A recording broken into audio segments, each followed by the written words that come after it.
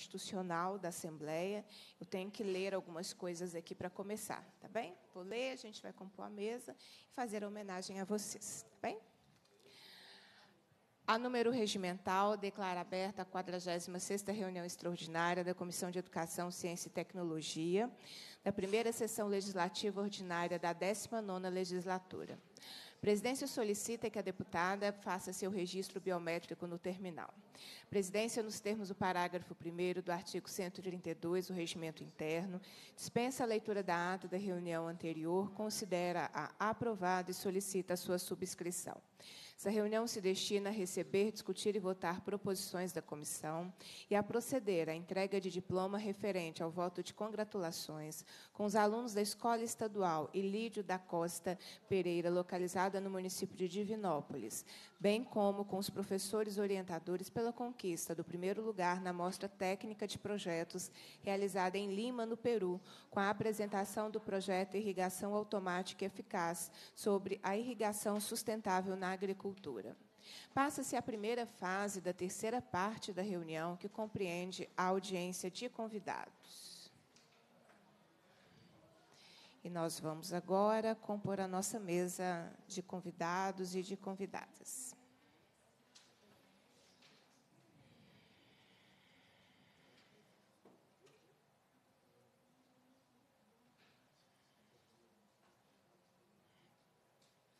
Quero convidar a diretora da escola, a Hélida de Lourdes Delfino Chagas. Seja muito bem-vinda.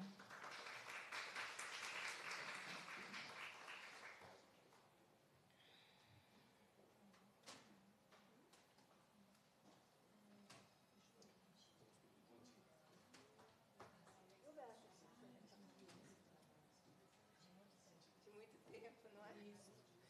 As nossas lutas são sempre de muito tempo, né? Uhum. Obrigada. Nós vamos também convidar a professora e coordenadora do projeto Irrigação Automática Eficaz, Eliane dos Santos Ferreira.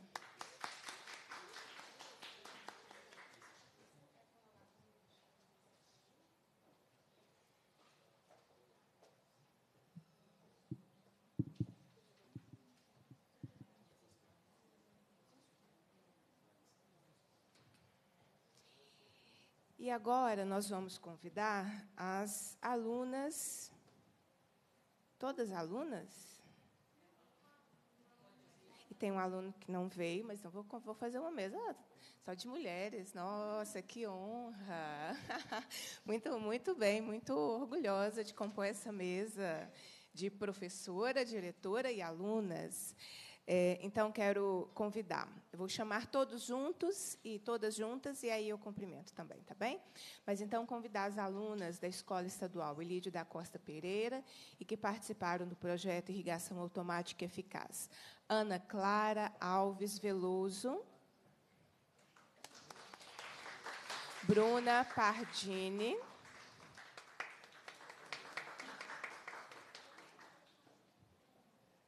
Fernanda Nonaca Oliveira.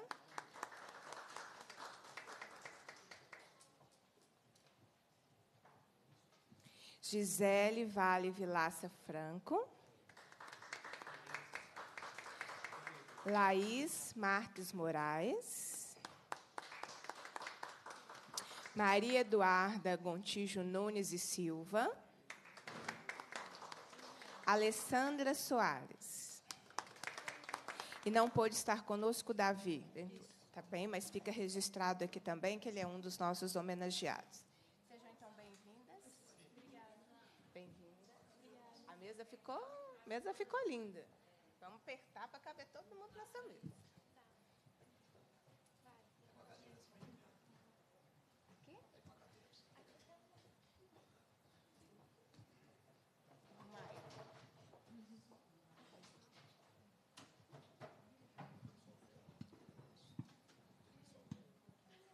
Coube onde? É? É cabelinho. Isso.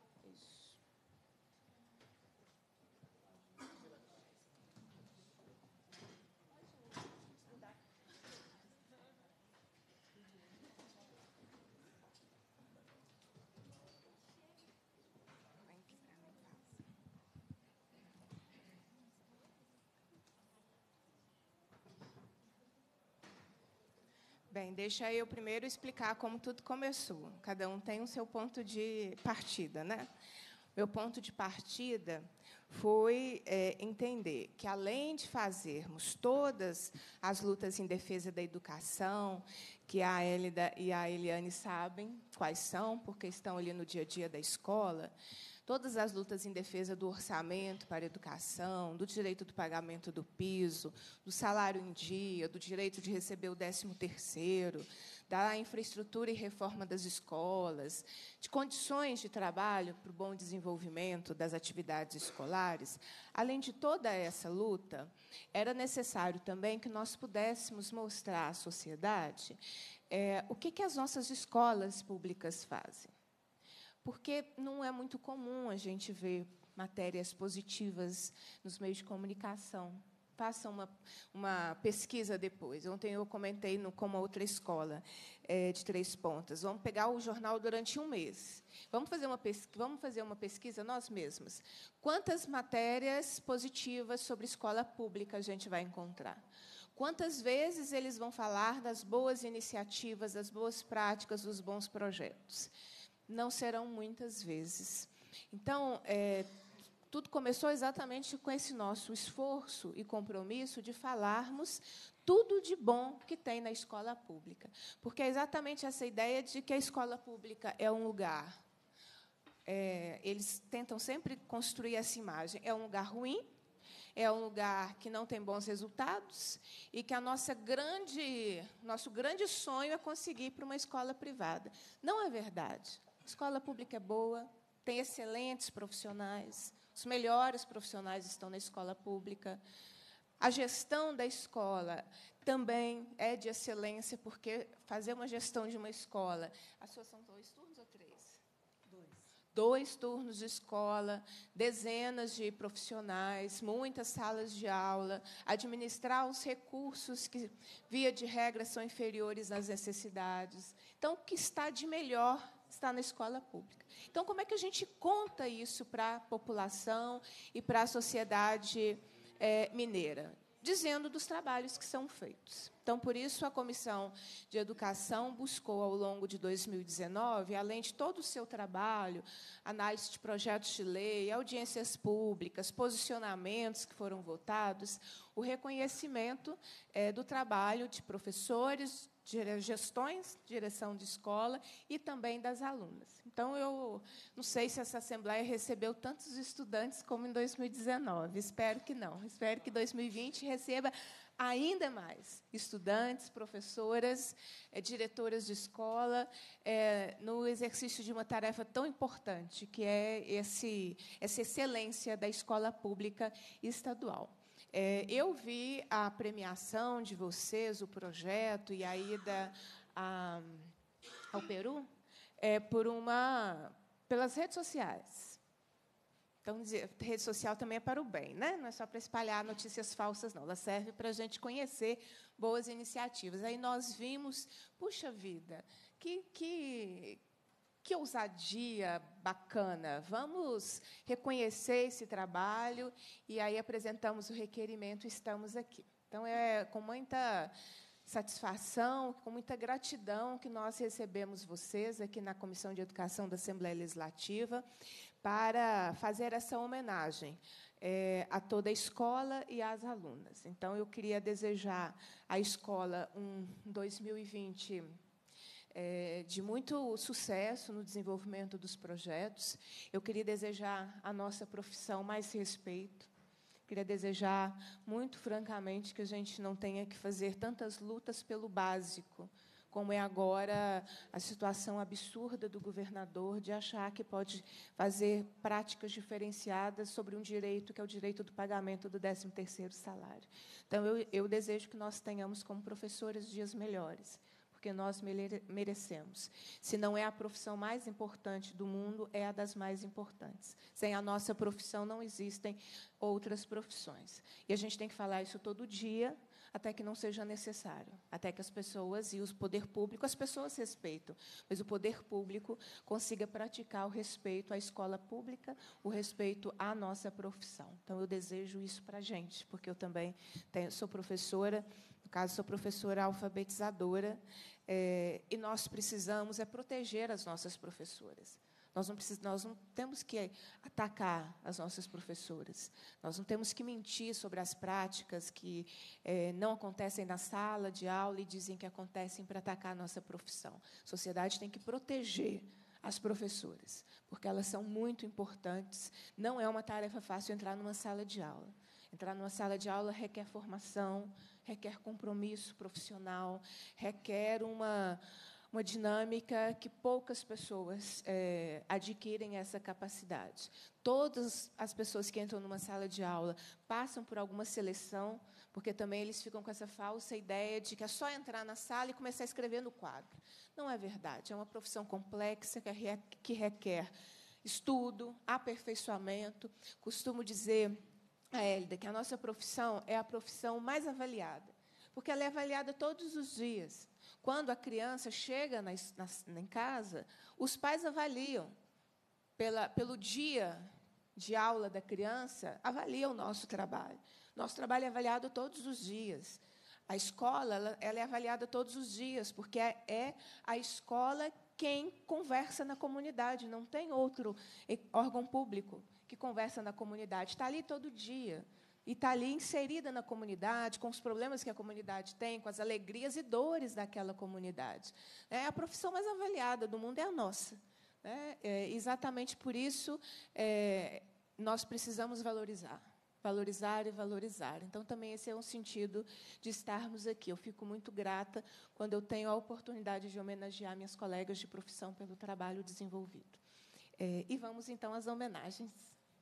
Senão, daqui a pouco, a gente começa todo mundo a chorar ou pelo menos a, a, a deputada, no caso. Né?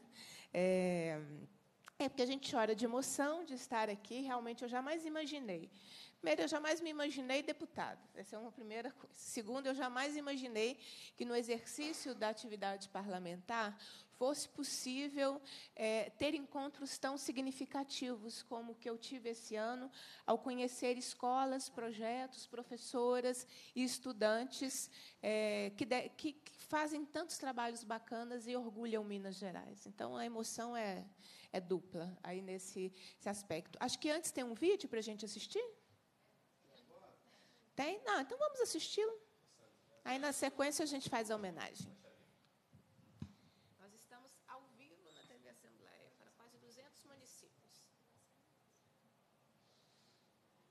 Depois o link fica no site da Assembleia, é, o álbum de fotos da homenagem. Aí a gente você pegou, alguém te pegou seus reportagens? Alguém o tem? Sandro tem. Aí vai te passar e aí tem o, o álbum de fotos, tem o link com toda essa reportagem, tudo que nós estamos falando fica lá. Se quiser pegar um pedaço, quiser pegar inteiro, quiser espalhar para os amigos, para a gente espalhar coisas boas pelo WhatsApp, né? É, tem que ter um WhatsApp para o bem, né?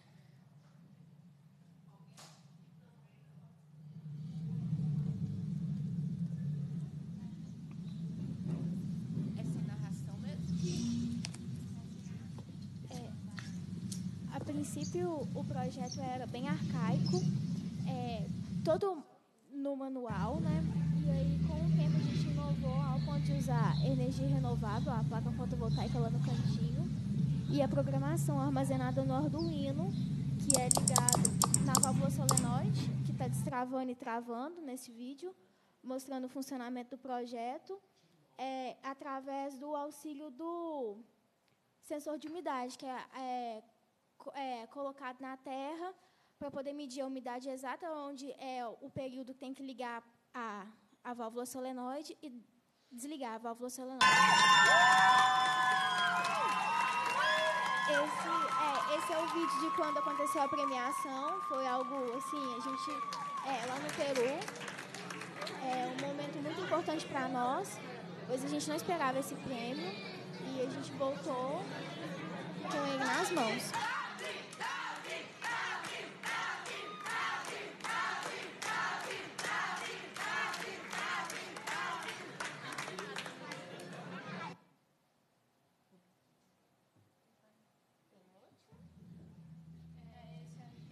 Funcionando ainda. Ah nesse momento o LED verde está aceso, mostrando Ah lá, ele tá, a irrigação ainda está acontecendo. Muito obrigada. Eu vou, eu vou entregar as homenagens e aí na sequência vocês explicam, falam. Bem? Pode ser? Nós vamos proceder à entrega das homenagens e aí na sequência, quem quiser fazer uso da palavra, quiser explicar um pouco mais o projeto, falar um pouco da escola, aí a gente fica à vontade para poder fazê-lo, tá bem? É, eu vou começar exatamente prestando a homenagem à diretora da escola. É, a, é um voto, a homenagem é um voto de congratulações. Eu vou fazer a leitura é, Assembleia Legislativa de Minas Gerais, atendendo a requerimento da deputada Beatriz Cerqueira, congratula-se com a diretora Aélida de Lourdes Delfino Chagas pela conquista do primeiro lugar da Mostra Técnica de Projetos realizada em Lima, Peru, pela Escola Estadual Ilídio da Costa Pereira, Palácio da Inconfidência, Belo Horizonte, 17 de dezembro de 2019. Assinam a homenagem o deputado Agostinho Patrus, que é o presidente da Assembleia Legislativa, e o seu primeiro secretário, deputado Tadeu Martins Leite. Então, é com muita honra que, é, a Hélida que eu te entrego essa homenagem da Assembleia Legislativa.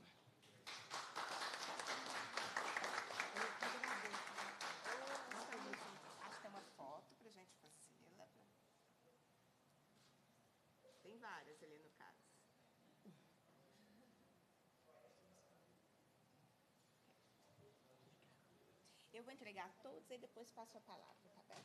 Aqui, ó, tem um cartão de feliz tudo para a gente em 2020. Nós estamos precisando, né? Agora nós vamos proceder à entrega é, da homenagem e o reconhecimento do trabalho à professora Eliane dos Santos Ferreira, que é a coordenadora do projeto Irrigação Automática e Eficaz.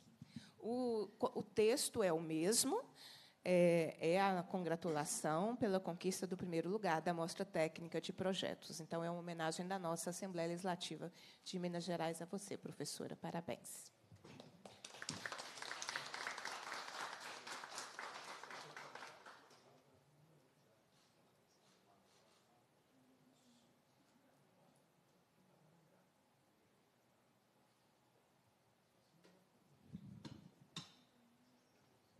E agora eu vou dar sequência fazendo a mesma homenagem às nossas alunas. Ana Clara. Ana Clara Alves Veloso, receba a nossa homenagem pelo, pela apresentação do projeto na, em Lima, no Peru. Parabéns pelo trabalho e vida longa a todas vocês que estão aqui na escolha da profissão de vocês e quando vocês estiverem lá na profissão que vocês escolherem, nos ajudem a também proteger e valorizar as nossas escolas públicas, tá bem?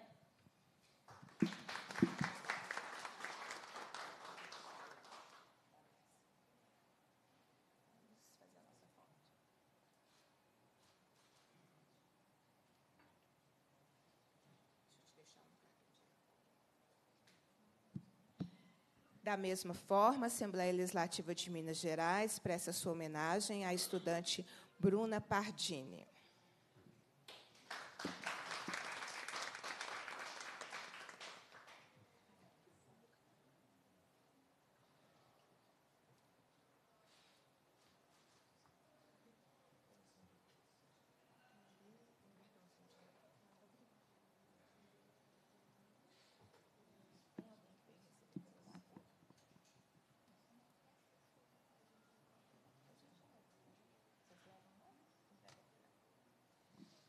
Da mesma forma, prestamos a nossa homenagem à estudante Fernanda Nonaca Oliveira, pela conquista do primeiro lugar na Mostra Técnica de Projetos realizada em Lima, no Peru.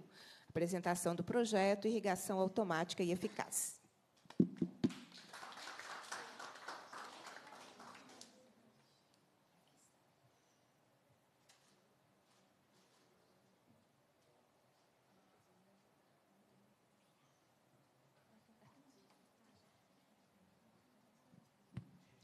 Nossa homenagem agora a Gisele Vale Vilaça Franco.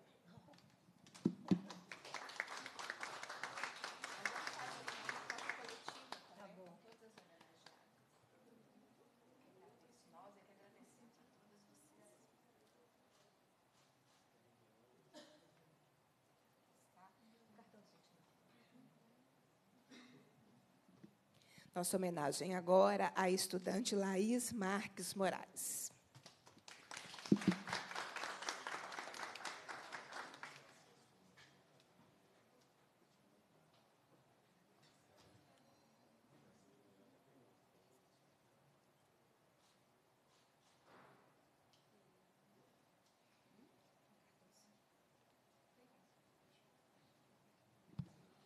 Nossa homenagem à estudante Maria Eduarda Gontijo Nunes e Silva.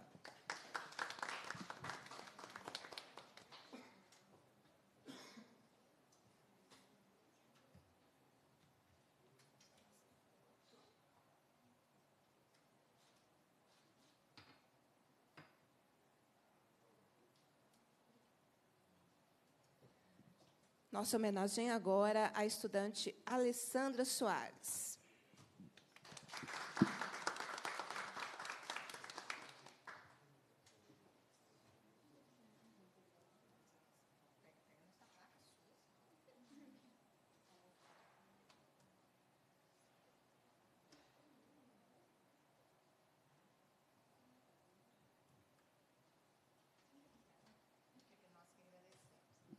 Eu vou entregar à professora Eliane para que ela faça a entrega para a gente para a nossa homenagem ao estudante Davi Ventura, que não pôde vir conosco, mas também é o nosso homenageado aqui na Assembleia Legislativa.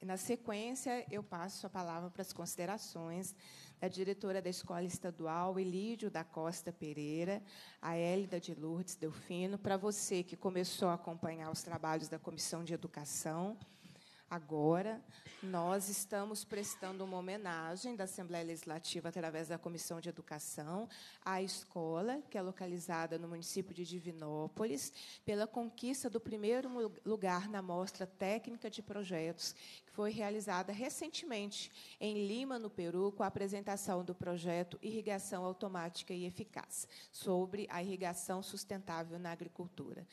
É, diretora, mais uma vez é um prazer recebê-la e a palavra está com a senhora.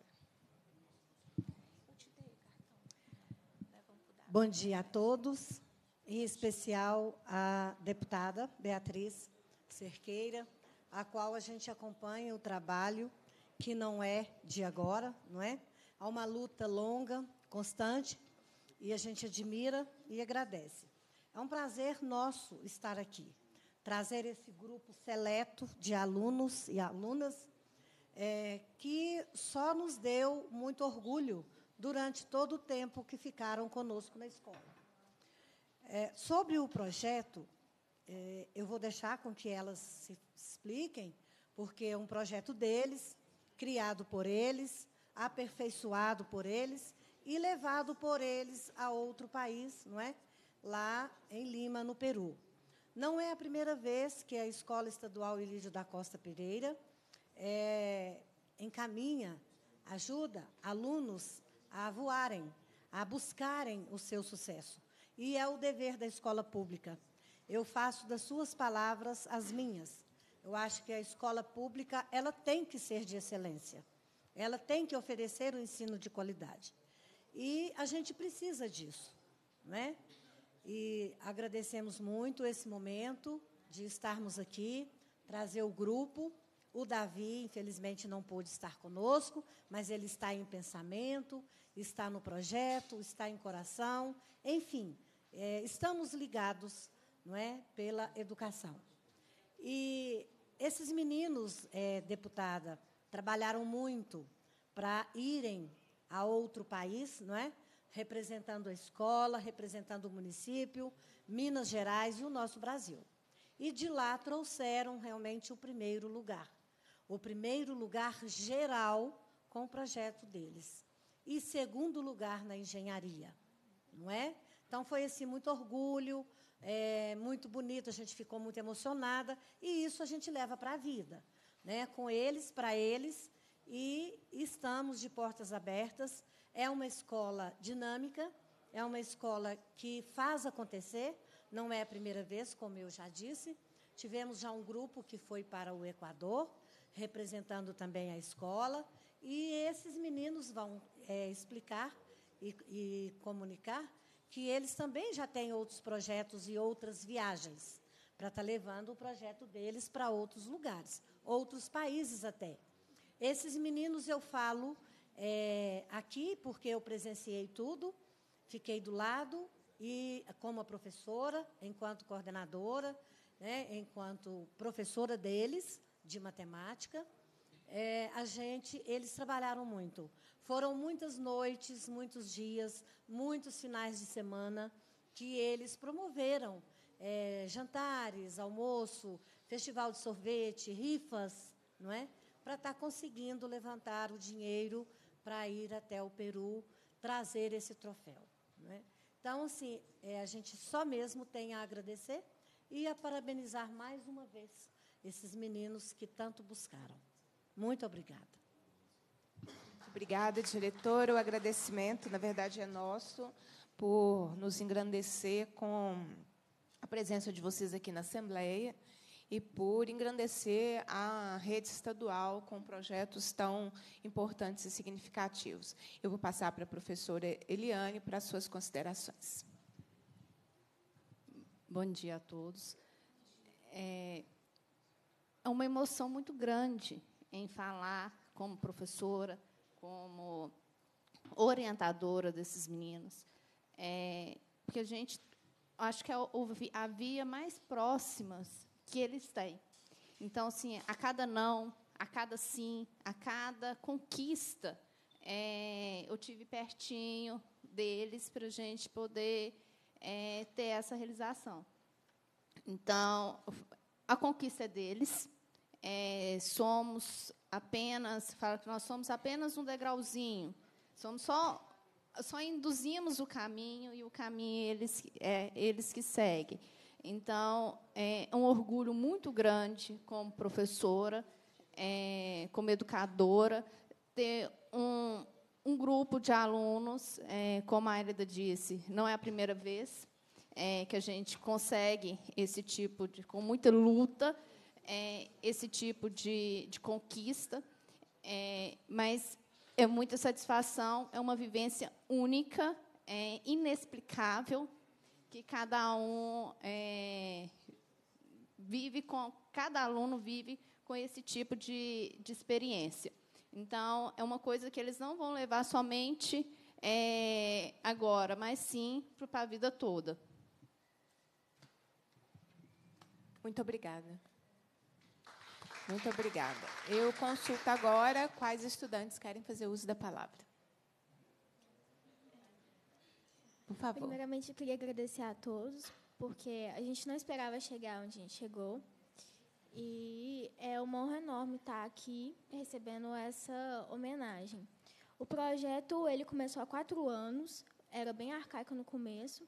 A gente tem como objetivo facilitar a vida do agricultor e economizar água, que a gente sabe que é um setor que gasta muita água, o setor agrícola. É, durante esses quatro anos, fizemos várias mudanças, é, conseguimos avançar muito no projeto e, com o auxílio de um professor é, de informática, a gente conseguiu elaborar uma, uma programação que é armazenada na placa, é, placa-mãe, que é a Arduino, que a gente usou, que ela é, de, de ela é muito fácil de mexer, sim, mais tranquila. E, através disso, a gente pensou também a questão da energia renovável, utilizamos a placa fotovoltaica. Através dela, a gente consegue é, armazenar a energia elétrica dentro de uma bateria e essa energia comanda o projeto inteiro. Ela é ligada em duas bifurcações que conectam na válvula solenoide e na plaquinha, e através do sensor de umidade, ela recebe o comando para poder travar e destravar a válvula solenoide, através do sistema de irrigação por gotejamento, que se mostrou ser o mais eficiente, de acordo com os anos que a gente foi pesquisando. E, através desse projeto, conseguimos ganhar a feira lá no Peru, que é, nossa, é algo assim, inacreditável até hoje para nós, e conseguimos credencial para a Argentina. E, se Deus quiser, vamos estar presente lá ano que vem. Parabéns, obrigada. Quando vocês forem à Argentina, vocês nos deem notícias, tá bem? De como foi lá. Mas alguém quer falar?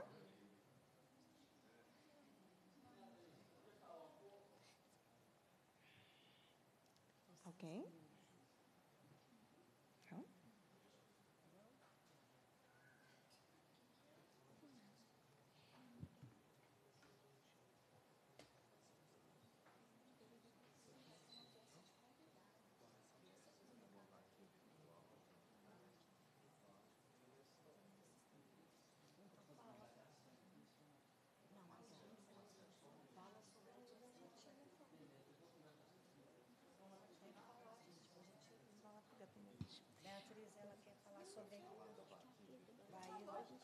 Ainda continua em curso? A vaquinha continua em curso? Continua? Pode pegar o microfone. Pode falar. Pode falar. Vocês ainda devem quando? Vocês ainda devem quando? Deste? Passeio? Deste nada. É do próximo? Do próximo. Então pode falar. É, a gente tem uma rede social, que é o Instagram, ele chama arroba IAE underline projeto. Lá na nossa biografia tem um link da nossa vaquinha online, que a gente está aceitando qualquer tipo de ajuda para a gente conseguir viajar para nosso credencial que a gente ganhou na Argentina. E qualquer ajuda é muito bem-vinda. Muito obrigada. A viagem é em novembro de 2020. Arroba IAI IAE, underline, projeto. Então, para aqueles que quiserem ajudar para essa etapa que vocês se credenciaram na Argentina, podem contribuir. Eu ontem, é, ao receber uma escola estadual de Três Pontas, a diretora me fez um pedido que nós buscaremos atender, que é exatamente identificar onde é, uma legislação, uma regra, de modo que o governo do Estado faça investimento. Porque quando uma aluna vai ao Peru, vai à Tailândia, ontem nós estávamos homenageando estudantes que participaram da etapa é, da Olimpíada Matemática Sem Fronteiras na Tailândia. Quando alguém vai a outro país, está levando o nosso nome, está levando a nossa bandeira, está levando o nome da escola, o nome da rede estadual, o nome de Minas Gerais e do Brasil. Não é algo pessoal. Não é muito pelo contrário, é algo muito coletivo, de representação. Então, ontem a diretora nos fez esse pedido e nós estudaremos um mecanismo de garantir é, que o Estado tenha que ajudar estudantes que façam projetos e que são premiados, é, como é o caso de vocês, né? porque o Estado, para o Estado, esses valores são muito pequenos. Para vocês é uma grandiosidade, né? para a vida concreta de cada um.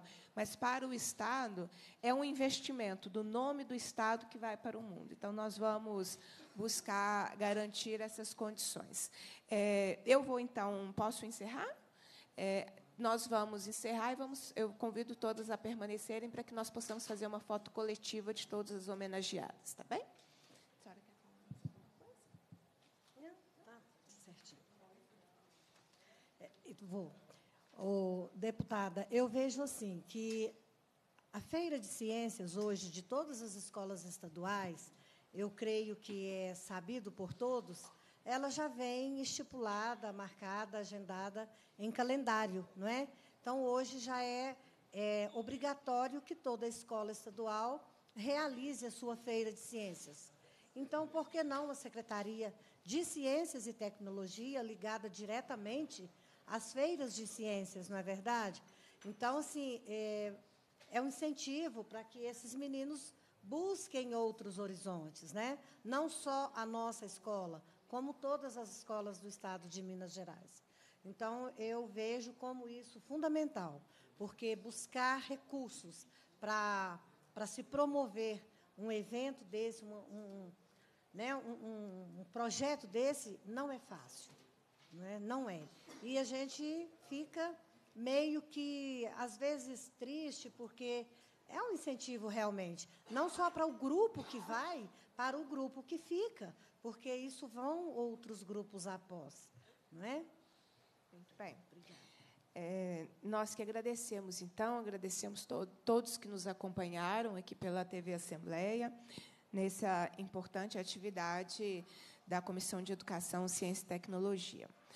É, agradecer, então, a presença da diretora Aélia, da professora Eliane e das alunas Ana Clara, Bruna, Fernanda, Gisele, Laís, Maria Eduarda e Alessandra, e deixar o nosso abraço também para o Davi. Cumprida a finalidade da reunião, a presidência agradece a presença de todos, convoca os membros para a próxima reunião extraordinária, a ser realizada amanhã às 9 horas, com a finalidade de proceder à entrega de diploma referente ao voto de congratulações com as alunas Helena Pereira Martins e Maria Fernanda Laje e o professor Alisson, da Escola Estadual Padre Vidigal de Nova Era, pelas medalhas de ouro recebidas na Olimpíada Itabirana de Matemática determina a lavratura da ata. Desejo a todos um bom dia e encerra os trabalhos da nossa comissão por hoje. É, tem alguém que?